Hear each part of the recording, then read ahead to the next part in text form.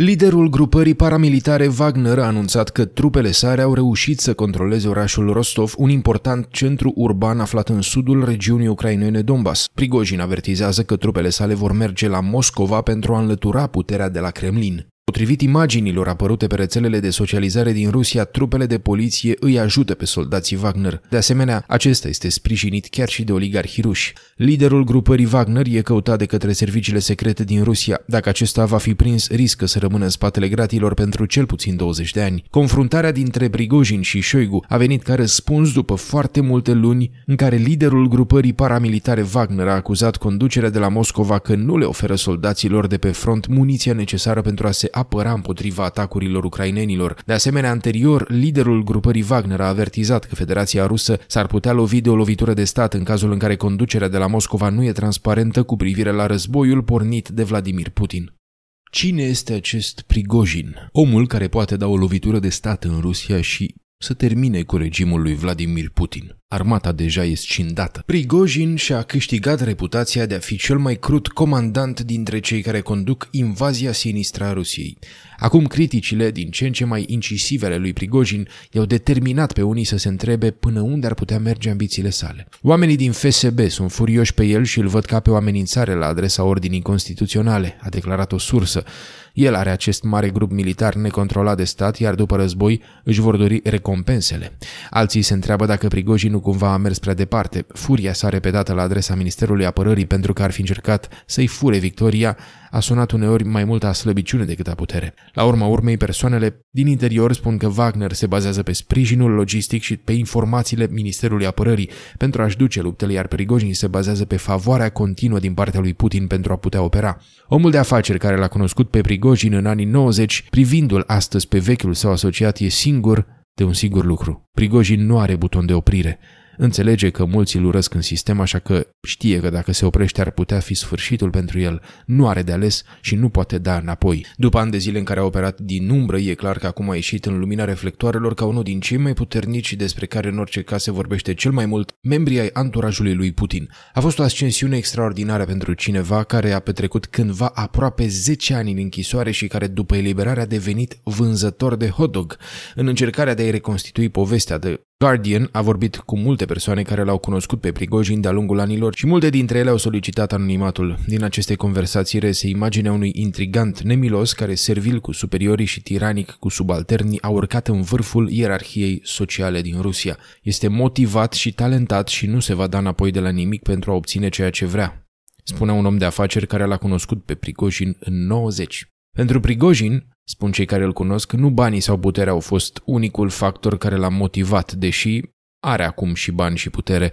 În schimb, spun ei, el e condus de fiorul justițiarului, de convingerea că luptă împotriva elitelor corupte în numele omului de rând și de dorința de a-și zdrobi rivalii. Se pare că se bucură de procesul în sine, nu doar de rezultatul final, a declarat fostul oficial din domeniul apărării. De-a lungul anilor, Prigojin și-a făcut o mulțime de dușmani, foști parteneri de afaceri care s-au simțit înșelați, generale armatei pe care i-a criticat, și oficial de top din domeniul securității. Până acum și-a păstrat favorurile cele mai important susținător al său, omul pe care îl numește papa. Evgeni Prigojin s-a născut în Leningrad sau Sankt Petersburg în 61 la 9 ani după Putin. Tatăl său a murit când era mic. Mama sa a lucrat într-un spital, după cum a declarat chiar el. Tânărul Prigojin a fost trimis la o școală sportivă unde activitățile zilnice implicau adesea ore întregi de schi. Nu a reușit să devină un sportiv profesionist, iar după ce a terminat școala a intrat în anturajul unor infractori mărunți. Documente datând din 81 obținute de la un tribunal văzute de The Guardian și prezentate în premieră de pe site-ul rus independent, Meduza îi spun povestea.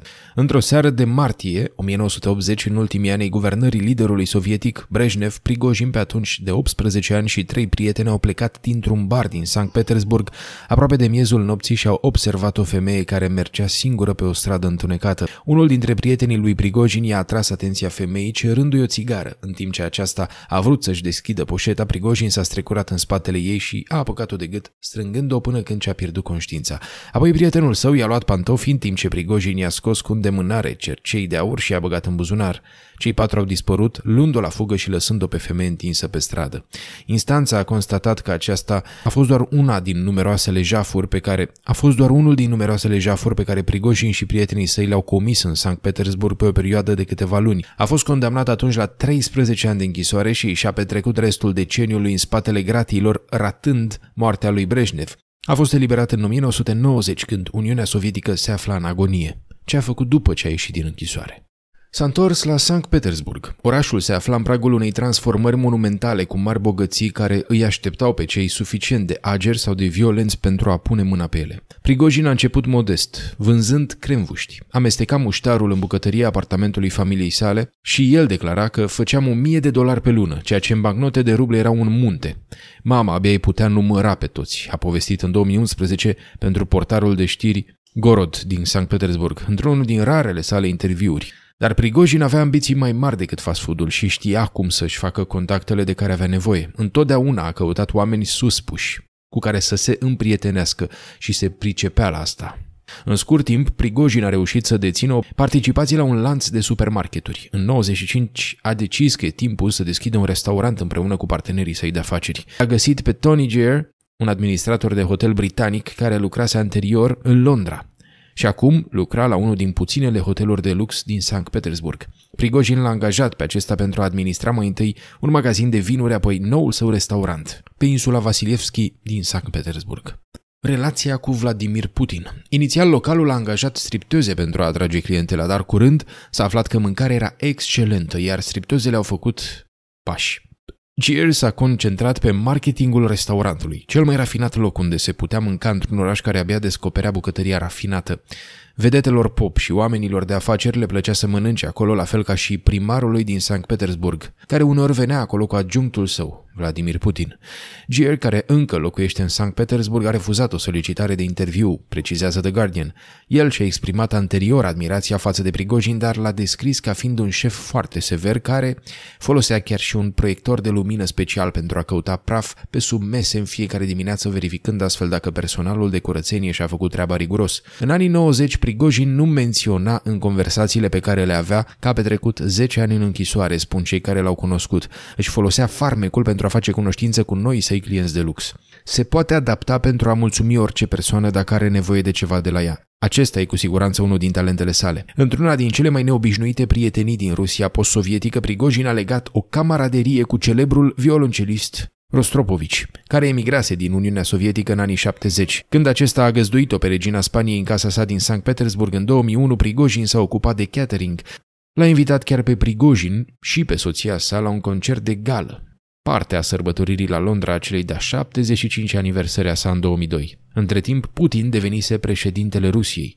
În primii ani de guvernare lui Putin îi plăcea adesea să se întâlnească cu demnitari străini în orașul său natal, Sankt Petersburg, și uneori îi ducea la restaurantul lui Prigojin sau pe insula nouă, o navă pe care Prigojin o transformase într-un restaurant plutitor.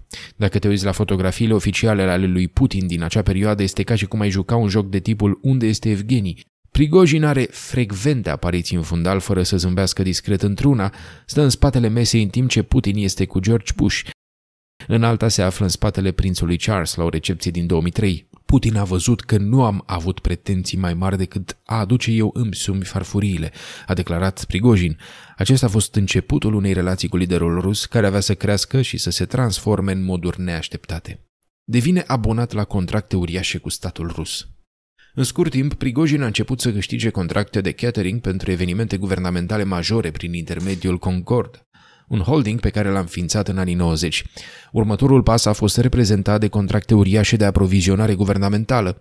În 2012 a câștigat contracte de peste 10,5 miliarde de ruble pentru a furniza alimente pentru școlile din Moscova, a relatat presa rusă. Noi oportunități au apărut atunci când Rusia a anexat Crimea în martie 2014 și a intervenit militar în estul Ucrainei la scurt timp.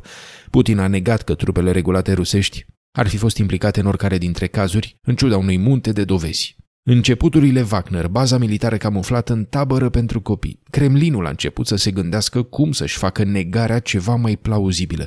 Deși companiile militare private erau ilegale în Rusia, au apărut mai multe grupuri care păreau să-și coordoneze acțiunile cu cele ale Ministerului Apărării, dar care puteau opera de la distanță. Erau așa numiții omuleții verzi, iar Wagner al lui Prigojin avea să devină de departe cel mai proeminent dintre aceste grupuri paramilitare. Cred că Prigojin i-a prezentat proiectul lui Putin și el a fost de acord, așa funcționează funcționează, a declarat fostul oficial al Ministerului Apărării, respingând speculațiile conform cărora Wagner ar fi fost de la început un proiect al serviciilor de informații GRU. S-ar putea să fie existat niște oameni din GRU care să fie oferit consultanță, dar în cele din urmă acesta a fost proiectul lui Prigojin. Ministerul i-a pus la dispoziție lui Prigojin un teren în sudul Rusiei, a precizat sursa unde companii legate de Prigojin au construit o bază de pregătire pentru luptători sub masca unei tabere pentru copii. Reuters a relatat despre presupusele legături ale lui Prigojin cu baza încă din 2019.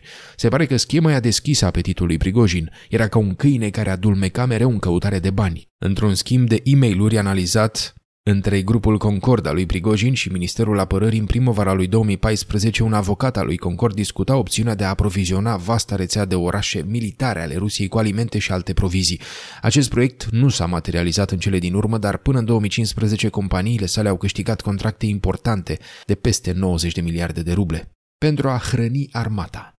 Ascensiunea rapidă a lui Prigojin a început să îi irite pe unii oficiali din cadrul Ministerului Apărării, tensiuni care aveau să crească de-a lungul anilor pe măsură ce operațiunile sale se extindeau și mai mult. Un moment cheie pentru el a avut loc la sfârșitul lui 2015, când Putin a decis să intervină militari în Siria pentru a susține regimul lui Bashar al-Assad.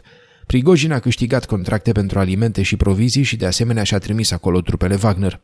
În Siria, Wagner s-a impus pentru prima dată ca o forță de luptă formidabilă, grupul jucând un rol proeminent, deși necunoscut în intervenția Moscovei. Luptătorii Wagner au operat cu impunitate în Siria și au fost acuzați de numeroase crime de război.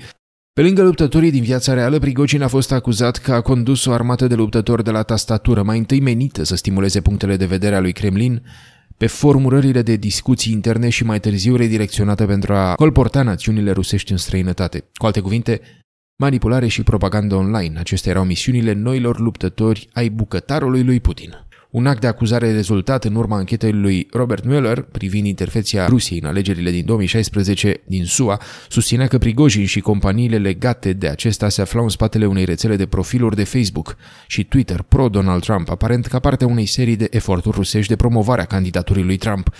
Profilurile false au partajat conținut pro-Trump și chiar au făcut plăți către americani reali care nu bănuiau nimic pentru a cumpăra recuzită pentru mitinguri.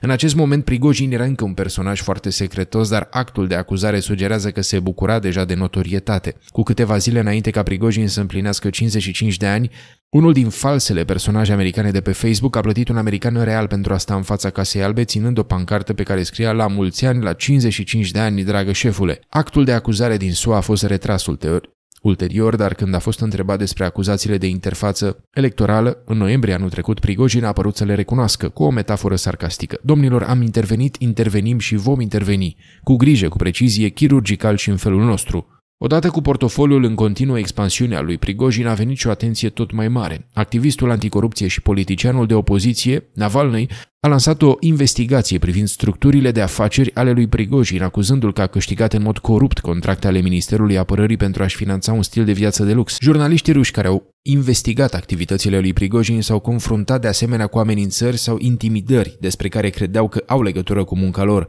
După ce Novaya Gazeta a realizat o investigație în 2018, un cap de berbec a fost livrat la redacția ziarului. Jurnalistul care a scris investigația a primit o coroană funerară la adresa sa de domiciliu. Cel mai șocant este că trei jurnaliști ruși care au călătorit în Republica Centrafricană în 2018 pentru a investiga activitățile lui Wagner în, în această țară, au fost uciși într-o ambuscadă care părea să fi fost bine planificată și coordonată și în care ar fi fost implicat un instructor de securitate rus având legătură cu Wagner. Prigojin a negat în mod repetat orice implicare. Deși nu avea nicio funcție oficială, Prigojin era de acum un participant frecvent la întâlnirile la nivel înalt legate de contractele de apărare. A participat chiar și la o întâlnire bilaterală între Putin și președintele Malgaș, la Kremlin, în aprilie 2018. La scurt timp după aceea, consultanții politici care au legătură cu Prigojin au descins în Madagascar. La doar două luni după cea întâlnire, Putin a luat în derâdere afirmațiile potrivit cărora Prigojin ar fi fost implicat în manevre obscure de politică externă în numele Kremlinului. Conduce o afacere de restaurant, este meseria lui, e un deținător de restaurant în Sankt Petersburg, spunea Putin despre Prigojin în timpul unui interviu acordat televiziunii austriece. De fapt, Putin recunoștea că Prigojin era pentru el ceea ce crede, în mod greșit că este Soros pentru guvernul american, un instrument pentru a se amesteca în străinătate, păstrând în același timp o negare plauzibilă. Decizia fatidică a lui Putin de a lansa un asalt la scară largă asupra Ucrainei în februarie anul trecut a eliminat cerința negării plauzibile. După ani de zile în care a negat orice legătură cu Wagner, Prigojin a anunțat triumfător în septembrie că a fondat grupul în 2014. În orice problemă ar trebui să existe loc pentru sport, a declarat el. Recunoașterea a venit după ce o înregistrare video virală, aparent scursă de echipa lui Prigojin, îl arăta pe acesta în interiorul unei închisori, propunându-le deținuților să meargă să lupte în Ucraina pentru a fi scutiți de pedeapsă. Prigojin le-a spus deținuților că probabil vor muri pe front, dar dacă vor supraviețui timp de șase luni, vor fi eliberați cu o grațiere totală și vor fi plătiți generos. E unul dintre noi până la urmă și-a amintit un deținut din, din una din închisorile vizitate de Prigojin. A fost și el deținut, cred că mulți oameni s-au înscris pentru că au avut încredere în el. Ei nu au încredere în autorități, dar l-au crezut pe Prigojin că îi va elibera. Mulți dintre noi recruți au fost aruncați în acțiune drept carne de turn pe linia frontului în timp ce Prigojin încerca din răsputeri să demonstreze că luptătorii săi sunt mai capabili să obțină câștiguri pe câmpuri de luptă decât armata rusă. Prigojin a lăudat disciplina ultra strictă care domnește în Wagner, despre care un alt fost comandant susține că a inclus uciderea celor care nu se supun ordinelor. Medvedev, un comandant Wagner care a dezertat, a declarat că a luptat în apropiere de Bahmut între iulie și octombrie și știe de cel puțin 10 astfel de cazuri fiind martor personal la unele dintre ele. Pe acei recruți condamnați care supraviețuiesc celor șase luni petrecute pe front îi așteaptă libertatea și recompensele financiare. Prigojin a făcut apel la cele mai importante universități din Rusia să financeze burse pentru acești, în timp ce un oficial rus a sugerat recent că unii foști deținuți ar trebui să fie numiți deputați. Prigojin și prigoana elitelor. Există ceva simbolic în faptul că Prigojin, care și-a petrecut 10 ani în închisoare, deschide acum calea pentru eliberare și reabilitarea mii de prizonieri. Prigojin a devenit de fapt liderul putinismului anti-elită. Mulți dintre cei care l-au cunoscut pe Prigojin spun că an de zile acesta se vede ca pe un apărător al celor mici în lupta cu elitele, o caracterizare ce nu s-ar susține având în vedere bogățiile pe care le-a dobândit pentru el și familia sa de-a lungul timpului. El se prezintă ca apărător al maselor, al claselor inferioare. Aceasta este nișa lui. Acum criticile, din ce în ce mai incisive ale lui Prigojin, i-au determinat pe unii să se întrebe până unde ar putea merge ambițiile sale. Oamenii din FSB sunt furioși pe el și îl văd ca pe o amenințare la adresa ordinii constituționale, a declarat o sursă. El are acest mare grup militar necontrolat de stat, iar după război își vor dori recompensele. Alții se întreabă dacă Prigojin nu cumva a mers prea departe. Furia s-a repetat la adresa Ministerului Apărării pentru că ar fi încercat să-i fure victoria, a sunat uneori mai mult a slăbiciune decât a putere. La urma urmei, persoanele din interior spun că Wagner se bazează pe sprijinul logistic și pe informațiile Ministerului Apărării pentru a-și duce luptele, iar Prigojin se bazează pe favoarea continuă din partea lui Putin pentru a putea opera. Omul de afaceri care l-a cunoscut pe Prigojin în anii 90, privindu-l astăzi pe vechiul său asociat, e singur de un singur lucru. Prigojin nu are buton de oprire. Înțelege că mulți îl urăsc în sistem, așa că știe că dacă se oprește ar putea fi sfârșitul pentru el. Nu are de ales și nu poate da înapoi.